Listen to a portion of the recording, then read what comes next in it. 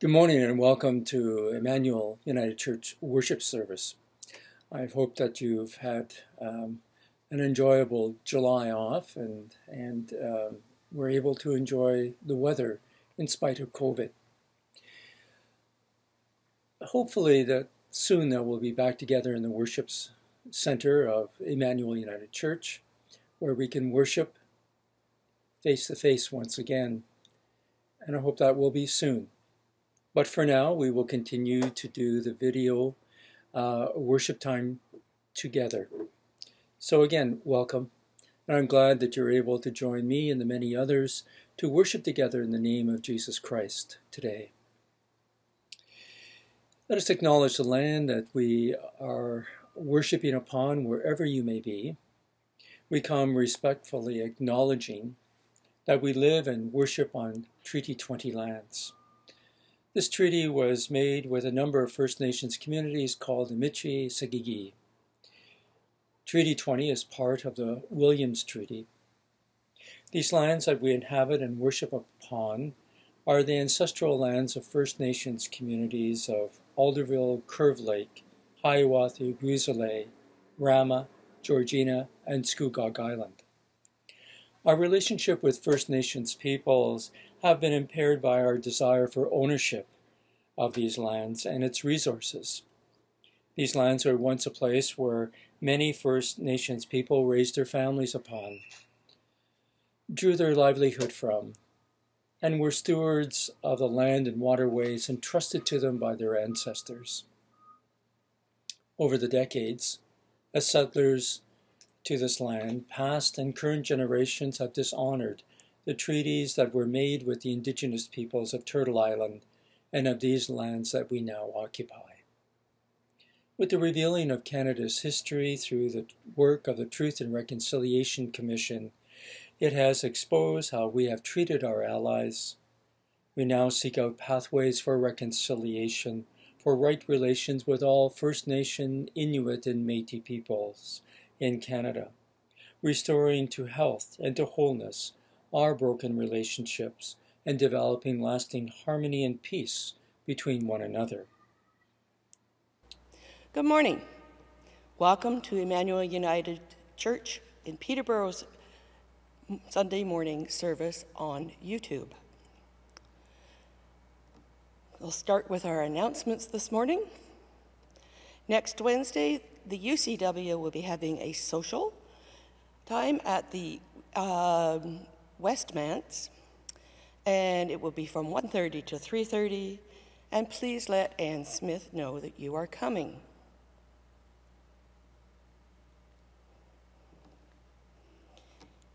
I'm going to light the Christ candle, knowing that in Christ nothing can remain in darkness.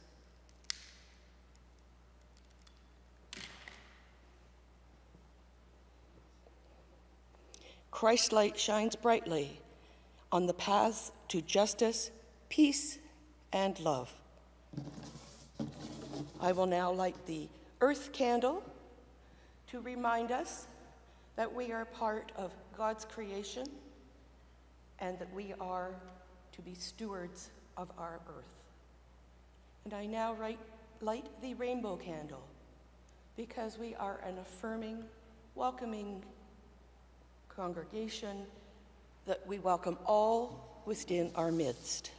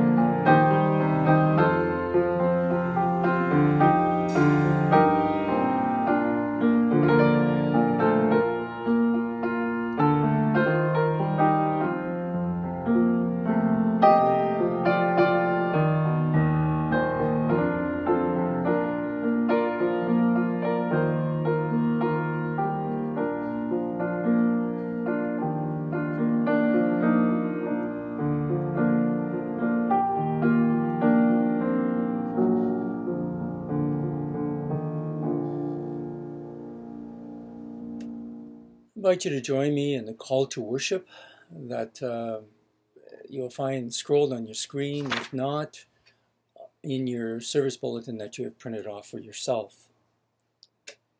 Creator, we come celebrating the infinite power and love that has gathered us into community. We gather in God's presence and faith, trusting in the Creator's way of loving others. We journey together in hope, knowing that God's promises are trustworthy and full of life as revealed through Christ, and that God's kingdom is for all. Let us celebrate in the name of the risen one who has come to make faith real for all.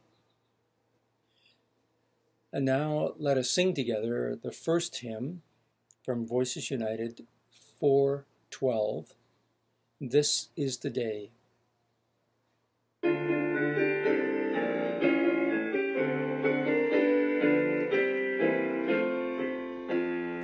This is the day, this is the day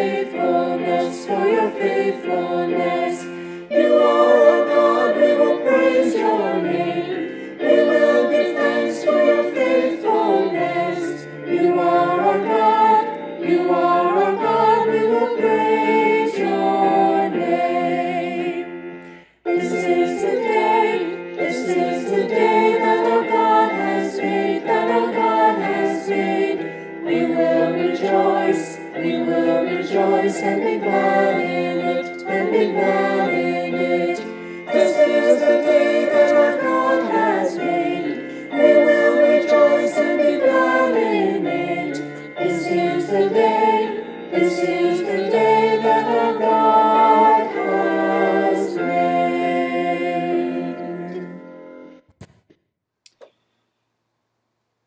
Let us join our verse, voices in, uh, in the opening prayer and the Lord's Prayer. Eternal mystery of the unfolding universe, awaken us to your Spirit's power and your ever presence in our world, pulling us back from the chaos in our lives. Enable us to hear clearly Jesus' voice through your word, offering us the strength and assurance we need. We come to worship and in trust seeking your touch on the choices we will make in our daily living. We come together praying, Creator of heaven, who art in heaven, hallowed be thy name. Thy kingdom come, thy will be done on earth as it is in heaven. Give us this day our daily bread, and forgive us our trespasses, as we forgive those who trespass against us. And lead us not into temptation, but deliver us from evil. For thine is the kingdom, the power, and the glory, forever and ever. Amen. Our scripture for this morning is Ephesians 4 24 to 5, verse 2. And I'm reading this morning from the message. But that's no life for you. You learned Christ. My assumption is that you have paid careful attention to him, being well instructed in truth in the truth precisely as we have in Jesus. Since then, we do not have an excuse for ignorance. Everything, and I do mean everything, connected with that old way of life has to go. It's rotten through and through. Get rid of it, and then take on an entirely new way of life a God fashioned life, a life renewed from the inside and working itself into your contact, conduct as God accurately reproduces his character in you. What this adds up to then, this is no more lies, no more pretense. Tell your neighbor the truth. In Christ's body, we are all connected to each other. After all, when you lie to others, you end up lying to yourself. Go ahead and be angry. Do well to be angry, but don't use your anger as fuel for revenge. And don't stay angry. Don't go to bed angry. Don't give the devil that kind of foothold in your life. Did you use to make ends meet by stealing? Well, no more. Get an honest job so that you can help others who can't work. Watch the way you talk let nothing foul or dirty come out of your mouth. Say only what helps, each word a gift. Don't grieve God. Don't break his heart. His Holy Spirit, moving and breathing in you, is the most intimate part of your life, making it you fit for himself. Don't take such a gift for granted. Make a clean break with all cutting, backbiting, profane talk.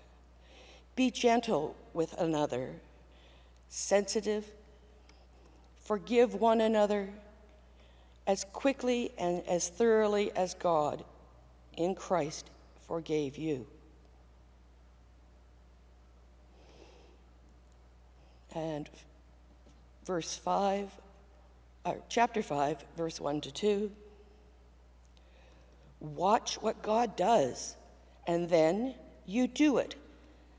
Like children who learn proper behavior from their parents.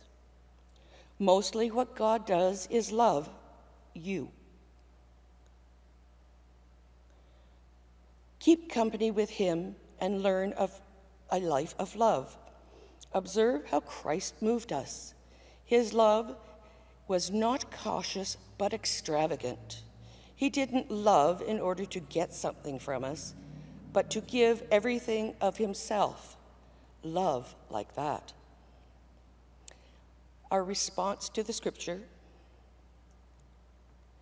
for the word of God in scripture, for the word of God among us, for the word of God within us. We give praise for the presence of God through the word. We will now have hymn 661 from Voices United, Come to My Heart.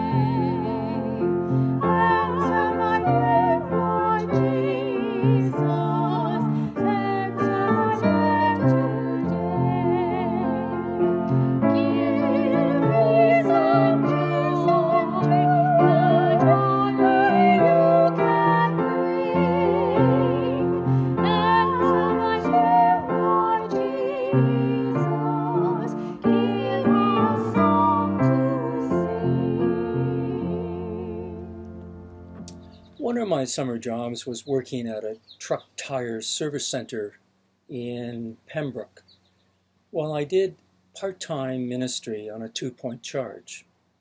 What I liked about this job was that I lived with a family and worked in the family's tire shop. Bud, the owner of the truck service center, he and I would head out north every couple of weeks to deliver new retreads and tires and pick up the used tire casings to retread them. It was a full day of deliveries and pickups. What I liked most about this day long trip was that somewhere outside Algonquin Park, there was a little bakery. It was part of a privately owned flour mill that ground wheat and other seeds into flours for the local businesses or, or individuals. The bakery shop was rustic wooden floors and countertops, and all the good bake, bakes, all the baked goods lay underneath a cloth. The aroma was just heavenly. Fresh bread, pies, desserts, you get the idea. The warmth caused by the ovens and the blending of all of these smells was incredible. That it created a home kitchen comfort feeling. But what was so unusual about this place was that the baker loved to experiment, I discovered. His experiments would be off to the side, each creation a variation upon a prototype. The test pieces were not the usual Costco a quarter inch or half inch square, but a good couple of inches. So the tester got a really good taste of what was being presented. On one particular trip, it was lemon pastries. Six lemon pastry tarts. One of them was just awful to my taste buds. The other ones were somewhat better. After sampling them, we were asked to rate them, which we did. But the baker's attempt was to reduce, eliminate, or add certain ingredients without compromising the pastry or the taste of the tart or whatever the the uh, dessert was. On that day, I think it would have been convenient for the bakery owner to stick to what people truly liked. But he was trying to expand his dessert repertoire into new territory. After the taste test, we purchased what we came for two dozens of their famous freshly baked cinnamon rolls. There were a few times where these heavenly delights never made it back home to the rest of Bud's family to enjoy. When I look at, this writing by Paul to the Ephesians church community, he outlines in graphic detail some pretty important aspects or characteristics of faith and relationship building that were weak or absent in the community, pointing to how faith could be lived out. The letter to the Ephesians community was both to the Jewish and Gentile peoples. The community, the, through the experience of Paul's preaching, has formed this faith community because they wanted to experience the God that Paul spoke about through Christ's life of compassion and love that seemed to lay dormant below the surface of their daily living experience. Paul made these ingredients of relationship building real for them through Christ. But Paul was instructing them, once again through his letter, to get rid of these bad influences, these bad ingredients, and characteristics that prevented them not only from experiencing the qualities of Christ, but to incorporate them into their own daily living. Time passed, and from this letter it appears that it was more convenient to hold on to old life practices than to be challenged by these new ingredients that at first were unfamiliar and felt different to them. Paul outlines for the Ephesian community and for us today the ingredients for reconciliation. Scholars such as Pick and von Rad surmises that the way of the world was very much a tooth for a tooth and an eye for an eye. An angry behavior of yelling and name calling was very much part of the behavior, and it appears it still was. Like the baker who was experimenting with the ingredients in the tart mix, the right proportions had not been reached yet without overpowering the tart with too much sugar or lemon or lard or whatever. Here was a new community trying to figure out how to live with these new characteristics of behavior in their daily overall life, at home and in community. And it was challenging. Unfortunately, they were falling backwards in what they knew would give them real hope and real relationships. They were falling back into what was convenient, comfortable, and easy in their responses to such situations in the community uh, and in their faith, church community. Where was the balance? What needed to be changed for reconciliation to transpire in this new community of faith. Some had given up. Maybe they thought this new way would be easy. Struggling with this new way, it was easier to slide back into familiar ways because it was comfortable and less exhausting. I wonder at times about us if our faith is about convenience holding the premise of an outward faith while internally not acting on the characteristics of what we are called to live out. Paul's outline of not speaking about others behind their backs, not taking advantage of another for gain or sinning, holding a grudge, stealing, being bitter, letting the wrath of one's anger get the best of them, or being malicious towards another was quite the challenge for many of them, as it is for us today in our relationships with others. Like the Ephesians people of the New Way, it is challenging and messy to live out these ingredients of reconciliation. And like some of the Ephesian followers of Christ, our behavior too is often to take the convenient way in many of the situations that we face in our own relationships. You see, we all love convenience, do we not? Thank God for bakers and other food industries that mass produce food to offer us the same te- taste and texture and smell time and time again. We rely on the Bun Masters and Tim Hortons and McDonald's of our, of our societies and other food outlets because they can offer us the same taste and texture and smell wherever we purchase their food. It's comfortable, it's convenient, and it does not keep us from wondering what it will taste like. But following Jesus does not conjure up convenience. Like I said, it is not like slipping into something comfortable.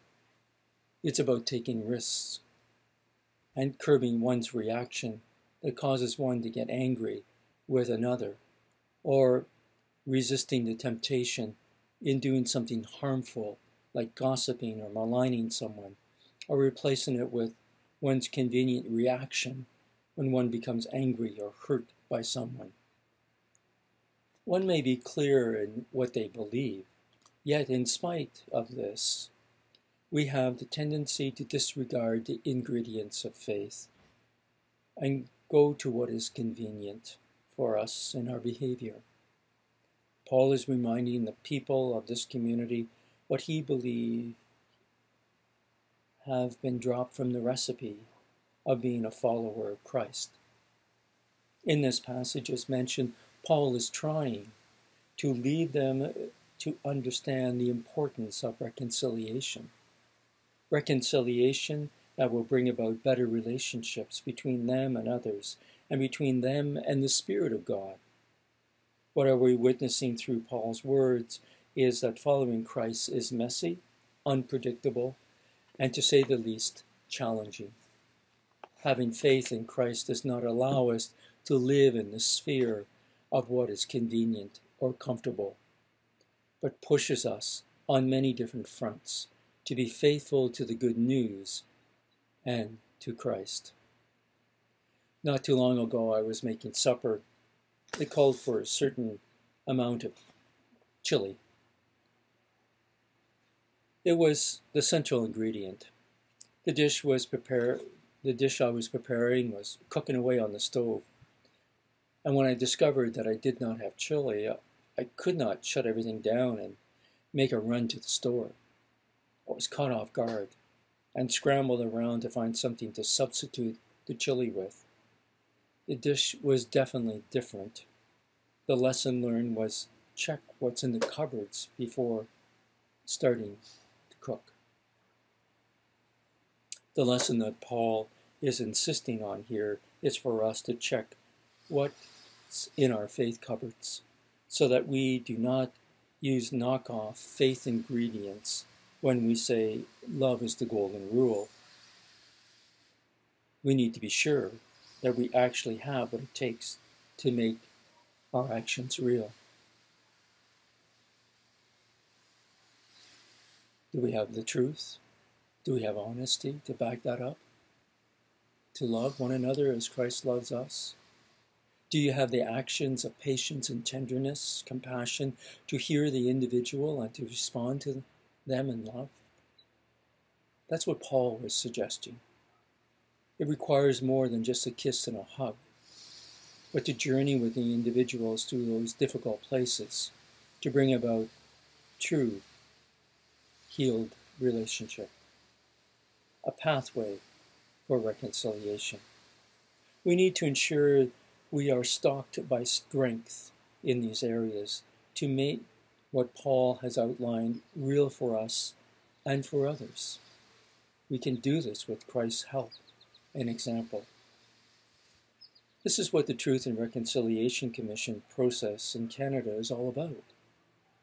Finding our way forward in a broken relationship that is filled with pain and ill feelings that now is upheld by truth, honesty, and a willingness to listen to make the changes necessary for healing through compassion and understanding.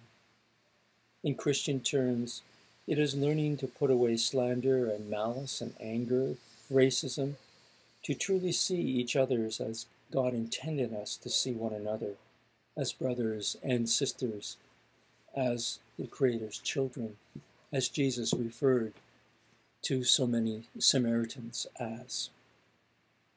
One approach, one's approach to one another, as Paul expressed, is to be tender hearted, kind, forgiving one another as Christ forgives us.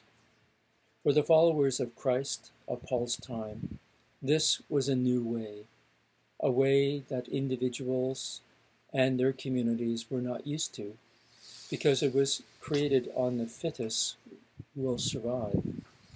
For many of us, these are common actions that we choose to act or not act upon.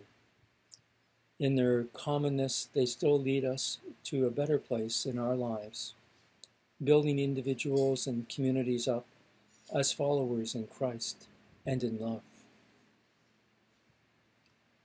Our beliefs and faith journey is anything but convenient. Our faith in Christ is anything but common. Our faith has social and common ties to caring for others. But what makes faith unique, that it is a spiritual force that demands social and personal change. Our strength comes from a greater place through Christ. This strength gives us the capacity to make systemic differences in our community and in the world when we hold on to the ingredients of building one another up in a healthy, accepting, loving relationship in Christ's name. So I ask, is your faith out of convenience or are our actions pleasing to God? Amen.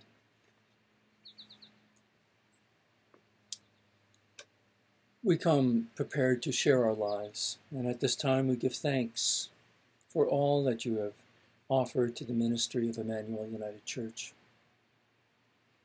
We thank each and every one of you who does the quiet pastoral care by keeping in touch with each other and for the many who pray for all of us. Thank you to the Pastoral Care Committee members for your ongoing efforts and to all volunteers who contribute to the functioning and well-being of Emmanuel United Church. Thank you to all of you who find ways to financially support this ministry, whether you give through pre-authorized remittance, bank e-transfers, or by envelope dropped off or mailed to the church, we say thank you. It's important that we give generously to Christ's ministry. Let us hear how some of your gifts has helped to support and to care for others through the through the Minute for Mission story. Our Minute for Mission. We know that Spirit speaks through music, and we are exploring new ways to listen. The meditative walk in the neighborhood around Mackay United Church, located in the nation's capital, kicks off with a quote from the 13th century poet Rumi. There are many roads leading to God. I have chosen that music and dance. There is no live guide speaking the words or playing music streaming through the earphones. Instead, the church's minister, Peter Woods, also a jazz musician, uses sonic maps, a geolocated listening platform, to facilitate the walk. Participants tune in by clicking a link or scanning a QR code, turning a corner from one zone in the neighborhood to the next. The music and message change as the pandemic unfolded, we quickly, quickly realized that the concerts and other types of ways of sharing music and spirituality through jazz wasn't going to happen. We transitioned to our weekly Kindness of Jazz music and meditation evenings online and embraced other technologies to minister to, pe to people safely, said Woods. In traumatized community of artists, these initiatives sparked new relationships. Guest co-hosts and musicians offered leadership from as far away as Ireland, South Korea, and San Salvador. I love how vital the connections have become amongst artists across tech platforms with spiritually resonant friends. Music in this contact text is the soundtrack to sacred moments and relationships. I feel great joy to witness this work unfolding. Improvised music is so often in service of the sacred, but now more than ever, says Woods. Sonic walks and online music collaborations are the tip of creating the creative iceberg the last few years have been full.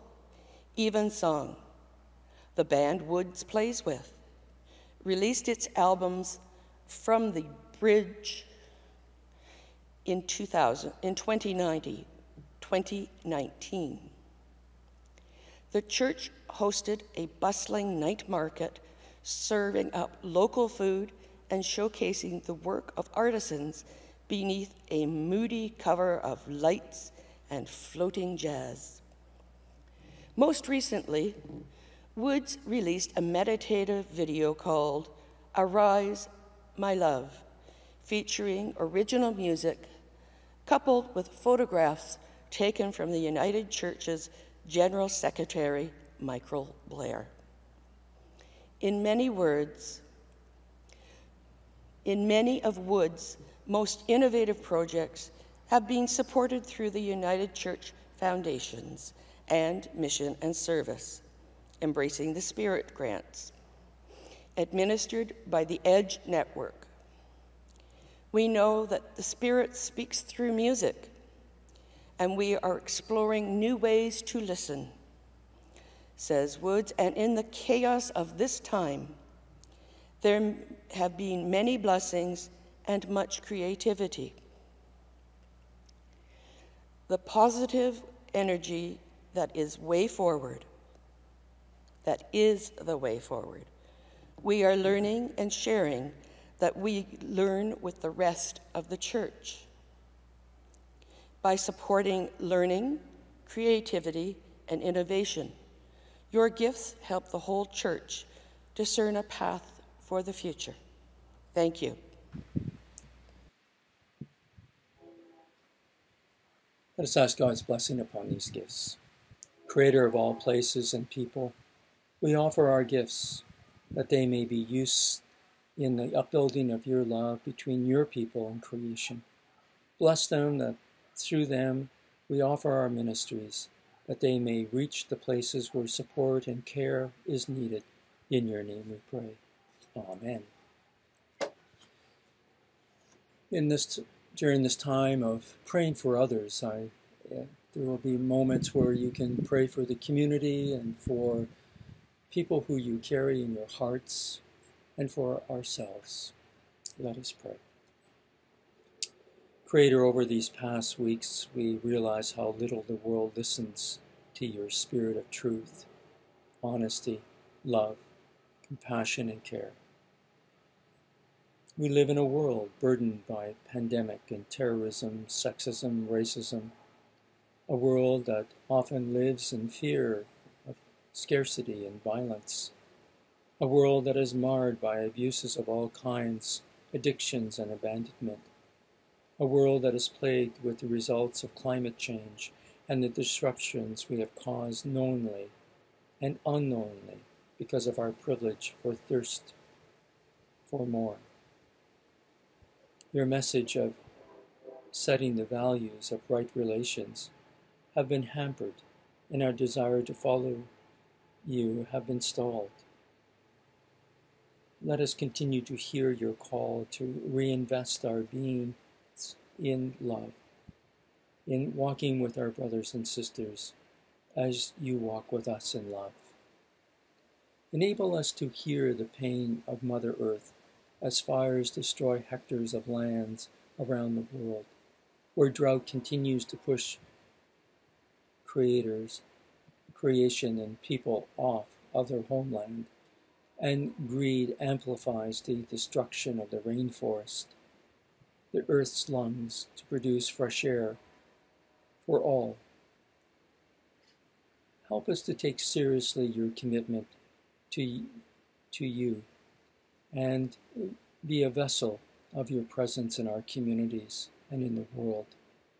Your presence that brings healing and peace to those who are sick, mourning, to those who are lost and lonely and depressed, to those we now name in silence who need your comfort and care.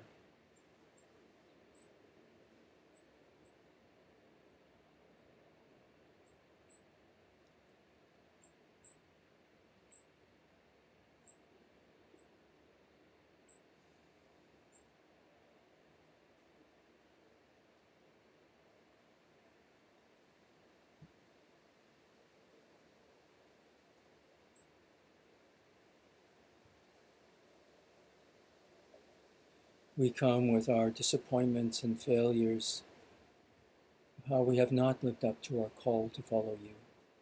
Our pain and our shattered lives, our sickness and troubled lives.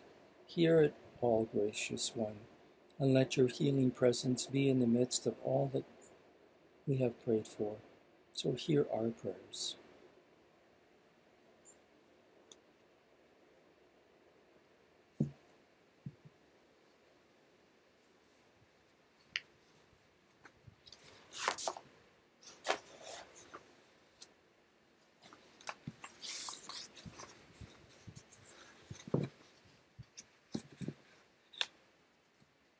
In your name we pray these things. Amen. And now let us turn to our last hymn from Voices United, 675 Will Your Anchor Hold?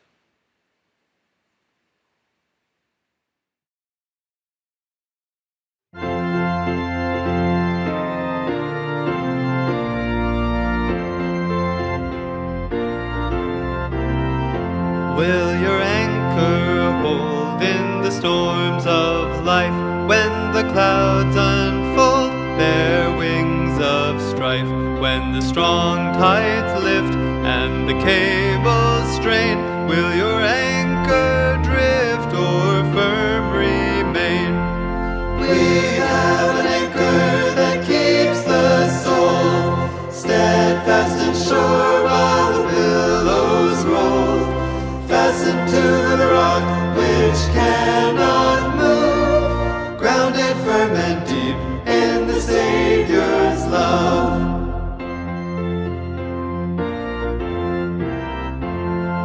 will surely hold in the straits of fear when the breakers tell that the reef is near. Though the tempest rave and the wild winds blow, not an angry wave shall our bark o'erflow. We have an anchor that keeps the soul steadfast and sure while the billows roll, rock which cannot move, grounded firm and deep in the Savior's love.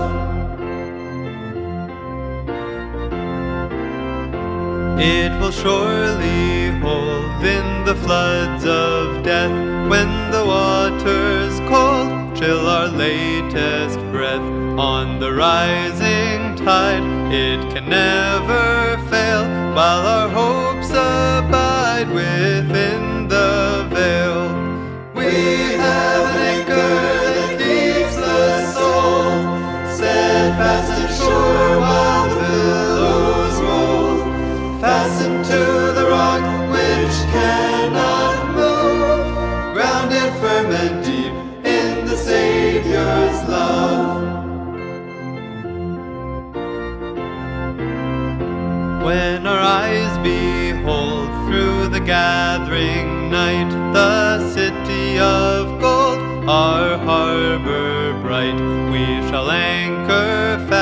by the heavenly shore with the storms all past forevermore. We have an